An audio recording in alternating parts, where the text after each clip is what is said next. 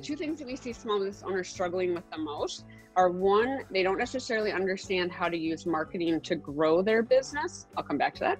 So, marketing, you can focus on really understanding marketing. And then two, their finances, like not necessarily understanding their numbers or what the numbers are telling them or how to think about the cost of the goods and all the things that go into financially running the business.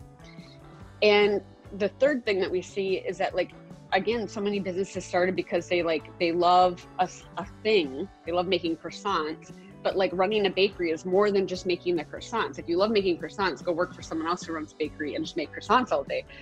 You have to really actually love running a business. So much of running a small business is like the running of the business